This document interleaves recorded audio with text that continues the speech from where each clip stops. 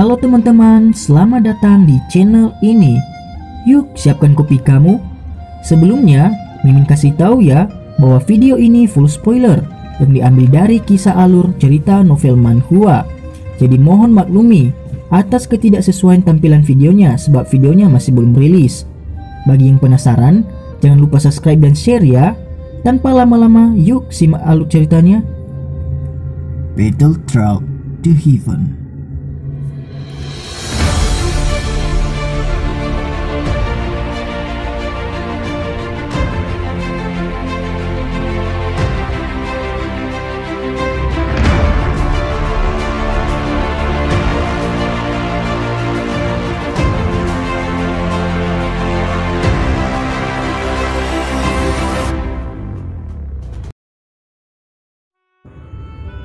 Melanjutkan dari cerita sebelumnya. Saat Xiaoyan menatap Ratu Medusa yang telah menarik niat membunuh dalam sekejap, dia hanya bisa tertawa pahit. Wanita ini memang tidak hanya mengandalkan reputasinya untuk menyebabkan begitu banyak orang kuat di Kekaisaran Jiamah sangat takut padanya. Di mana Anda berencana untuk pergi selanjutnya? Tanya Ratu Medusa.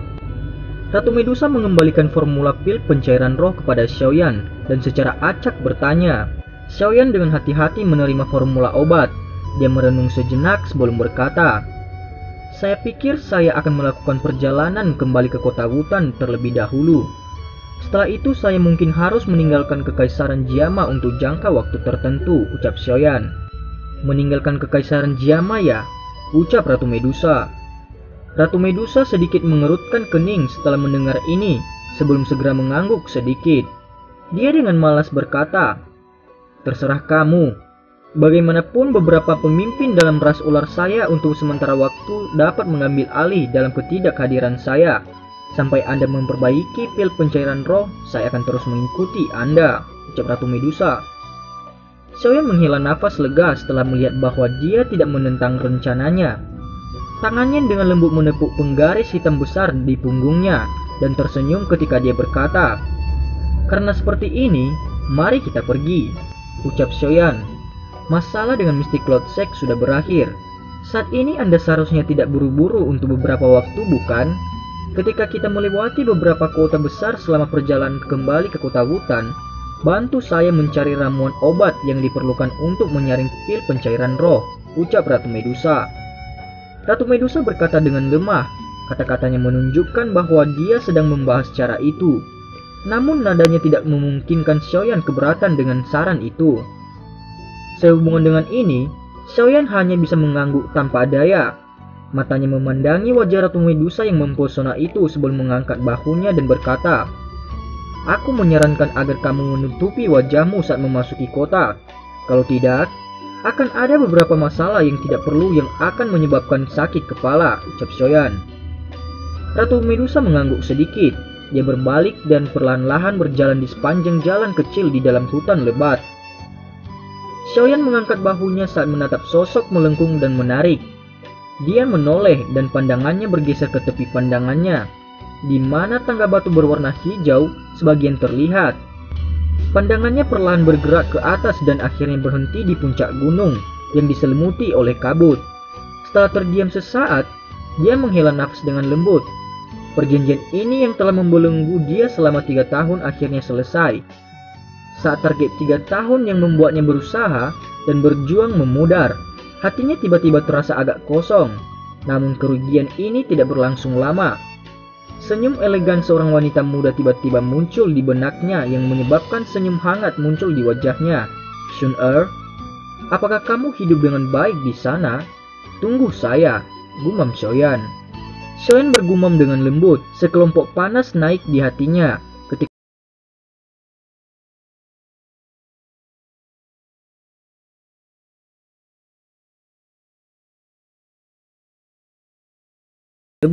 Sambil tersenyum, dia berburu mengejarnya. Xiaoyan tidak kembali ke ibu kota setelah meninggalkan Gunung Misty Cloud. Sebagai gantinya, dia dan Ratu Medusa mengubah arah mereka dan terbang menuju kota Wutan. Jarak antara ibu kota dan kota Wutan hampir setengah kekaisaran jauhnya.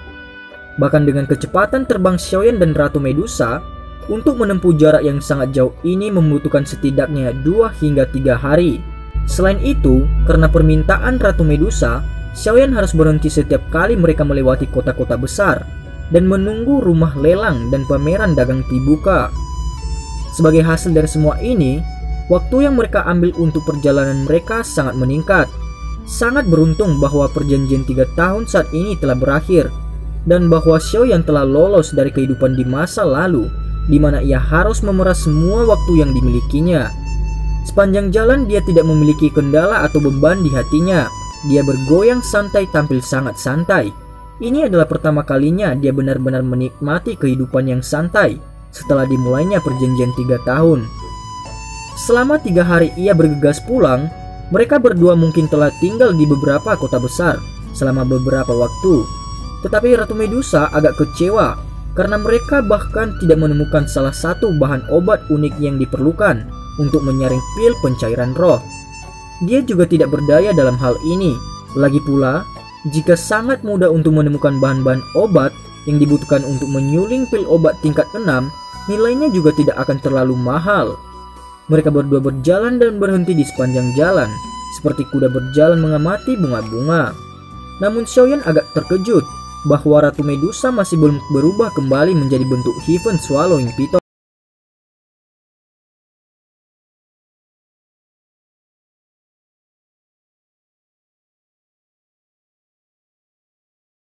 Swallowing Python dan dengan demikian menunda waktu dia akan berubah kembali. Xiaoyan mungkin merasa agak heran dengan penjelasan ini, tapi dia tidak punya pilihan lain. Jika dia tidak berubah kembali, apakah dia memiliki kemampuan untuk memaksanya melakukannya? Ketika waktu itu tiba, sebuah tamparan akan datang merayun. Muntah darah dan cedera serius akan menjadi masalah kecil saat itu. Seiring waktu berlalu dengan tenang, Xiaoyan dan Ratu Medusa semakin dekat dengan wilayah kota Wutan.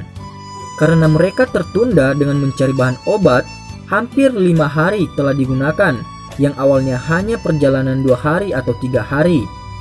Kota Heian, sebuah kota besar di provinsi utara Kekaisaran Jiama. Dari sini tidak jauh dari kota Wutan. Dengan kecepatan Xiaoyan dan Ratu Medusa, mereka seharusnya bisa mencapai dalam waktu setengah hari. Karena kota ini terkenal dengan bahan obat di wilayah utara, Ratu Medusa dengan cepat mendarat tanpa meminta pendapat Xiaoyan. Di pinggiran kota, dia menggunakan benang hijau tipis untuk menutupi wajahnya sebelum dia berjalan dengan megah menuju kota Heian. Di belakangnya Xiaoyan hanya bisa dengan sikap pasrah menahan keinginannya untuk pulang dan tanpa daya mengikuti di belakangnya. Keduanya berjalan ke kota. Selama waktu itu, tidak ada yang datang untuk menghentikan mereka. Meskipun mata para prajurit yang menjaga kota tanpa sadar dan berulang kali menyapu tubuh Ratu Medusa yang dewasa dan indah, aura tinggi dan mulianya menyebabkan para prajurit itu yang siap untuk membuat masalah bahkan tidak bisa berpikir untuk melangkah maju untuk menginterogasi mereka. Setelah memasuki kota, Xiaoyan memimpin jalan dan berjalan jauh di sepanjang jalan. Setelah itu dia memasuki sebuah restoran di mana ada banyak lalu lintas manusia. Orang-orang di bagian utara kekaisaran adalah orang-orang yang kuat, oleh karena itu hanya mungkin untuk melihat restoran seperti itu di wilayah utara kekaisaran. Itu terlihat biasa untuk melihat mereka di tempat-tempat mewah seperti ibu kota. Orang-orang dari semua perdagangan berkumpul di restoran seperti itu. Banyak berita dan informasi di antara orang-orang biasa di kekaisaran tersebar dari tempat-tempat seperti itu. Oleh karena itu, itu dapat dengan cepat menginformasikan Xiaoyan di mana berbagai bahan obat terbaik dan terluas yang berada di dalam kota. Keduanya berjalan ke restoran dan duduk di meja di samping jendela. Ratu Medusa menopang pipinya dengan tangannya ketika matanya yang cantik menatap keluar jendela. Ekspresinya seperti mengabaikan dan acuh tak acuh. Selama beberapa hari ini, semua hal tentang mendapatkan informasi sepenuhnya ditangani oleh Xiaoyan. Melihat sikapnya seperti ini, Xiaoyan hanya bisa menggelengkan kepalanya tanpa daya. Dia melambaikan tangannya dan memanggil pelayan wanita. Setelah memesan anggur yang tidak terlalu kuat, dia berdiri dan menuju ke beberapa tempat yang penuh dengan orang-orang. Setelah melakukan ini, berulang kali untuk waktu yang lama, Xiaoyan akhirnya mundur kembali ke meja dengan wajah penuh keringat. Dia menatap Ratu Medusa yang dengan nyaman menghirup anggur dan tidak bisa menahan nafas dengan putus asa. Apakah wanita ini tidak terlalu sombong? Bagaimana? Apakah Anda bertanya dengan jelas? Tanya Ratu Medusa. Mata cantik Ratu Medusa melirik Xiaoyan saat dia bertanya dengan lembut. Dikatakan bahwa ada ruang ramuan dengan ketenaran besar di kota ini. Ada beberapa stok untuk bahan obat langka di sana. Hanya saja Harganya sangat mahal, ucap Xiaoyan. Xiaoyan mengangkat cangkir anggurnya dan menuangkannya ke mulutnya sebelum menggeram. Beristirahatlah. Setelah ini, kita akan pergi ke aula ramuan itu untuk melihatnya, ucap Xiaoyan. Ratu Medusa mengangguk puas saat dia menjawab sambil tersenyum. Xiaoyan dengan lembut menepuk penggaris hitam di punggungnya, tetapi terlalu malas untuk terus berbicara. Hei, apakah kamu sudah mendengar masalah di Mystic Cloud Sect? Ucap percakapan pribadi. Xiaoyan dan Ratu Medusa yang sedang beristirahat dengan tenang, tiba-tiba mendengar suara orang berbincang secara rahasia tidak jauh dari meja mereka, menyebabkan Xiaoyan mengalihkan pandangannya. Cih, Anda berbicara tentang masalah pria muda bernama Xiaoyan yang membuat kekacauan besar di Mystic Cloud Saya bukan? Seorang pria melengkupkan bibir dengan jijik pada temannya yang memiliki wajah tampak misterius. Kamu sudah tahu tentang itu? Orang yang berbicara sebelumnya langsung terkejut saat dia bertanya dengan malu-malu. Masalah sebesar ini sudah menyebar sekitar dua hari yang lalu. Seyan itu mengalahkan pemimpin sekte junior Mystic Cloud Sect, Nalan Yanran dalam pertandingan resmi. Saya telah mendengar bahwa itu tampaknya karena Nalan Yanran membatalkan pertunangannya tiga tahun yang lalu. Melihat itu sekarang, Berita tentang Nalan Yanran yang diceraikan paksa oleh Xiaoyan saat itu memang memiliki keandalan. Melihat kekuatan dan bakat yang ditunjukkan Xiaoyan saat ini, ia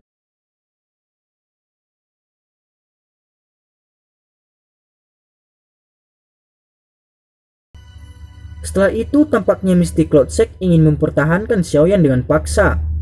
Hahaha. Meskipun dia masih muda, orang-orang kuat di belakangnya benar-benar mengerikan sampai meninggalkan orang lain yang terdiam. Saya telah mendengar bahwa dalam pertempuran saat itu, tidak hanya dua Do Huang yang kuat, tetapi juga Ratu Medusa dari ras bangsa ular muncul. Mystic Cloud Sect mungkin telah menggunakan semua upaya mereka, tetapi mereka akhirnya membiarkan Xiaoyan pergi dengan utuh. Ratu Medusa? Ketika kata ini meninggalkan mulutnya, orang-orang di sekitarnya berseru. Hahaha, Menurut informasi yang dapat dipercaya, bahwa Xiaoyan juga adalah juara Grand Meeting Alkemis musim ini. Tatapan terkejut di sekitarnya menyebabkan kesombongan pria itu mengembang. Dia tertawa dan sekali lagi mengungkapkan informasi yang mengejutkan. Bukankah juara rapat agung alkemis bernama Xian Xiao? Tiba-tiba sebuah suara lembut muncul. Yan Xiao, Xiaoyan, bukankah itu dia? Jika kita membacanya secara terbalik. Hahaha. Pria itu dengan muram berkata sambil tersenyum. Orang-orang di sekitarnya juga terdiam. Segera mereka tiba-tiba menyadari, meskipun masalah mengenai nama ini tidak bernilai apa-apa setelah ditunjukkan, orang normal seperti apa yang tidak memiliki yang lebih baik untuk dilakukan, tetapi membaca nama secara terbalik. Orang ini benar-benar luar biasa. Pada usia seperti ini, dia telah melakukan hal-hal yang mengejutkan seperti itu. Di masa depan begitu dia dewasa, bukankah dia akan lebih luar biasa? Pria itu dengan keras menuangkan agur gandum yang kuat ke mulutnya dan menghela nafas iri. Pria mana yang tidak memiliki mimpi beras untuk melakukan sesuatu yang besar? Namun karena kemampuan mereka yang terbatas, banyak orang yang ditakdirkan untuk hanya berfantasi tentang hal-hal seperti itu.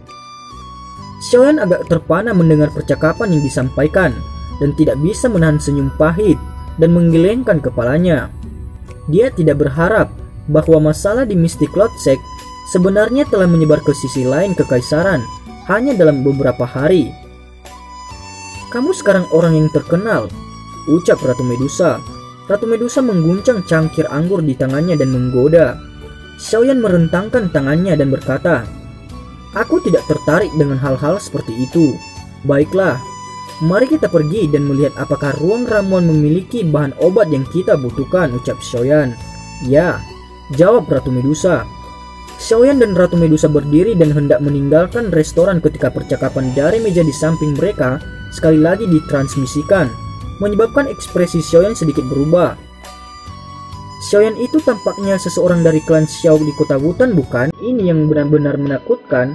Siapa di wilayah utara yang berani untuk tidak menghormati klan Xiao? Hahaha, mungkin tidak begitu. Secara kebetulan, saya baru saja datang dari kota Wutan beberapa saat yang lalu. Saya mendengar bahwa klan Xiao telah menemui masalah selama dua hari ini. Hmm? Sebenarnya ada seseorang yang berani pergi ke klan Xiao untuk menemukan masalah pada saat ini? Saya juga tidak yakin tentang hal ini. Klan Xiao sangat ketat menjaganya. Saya juga tidak yakin tentang berita pastinya. Pria itu menggelengkan kepalanya sebelum menurunkan untuk minum seteguk agur gandum. Namun dia tiba-tiba terdiam. Dia mengangkat kepalanya perlahan dan menatap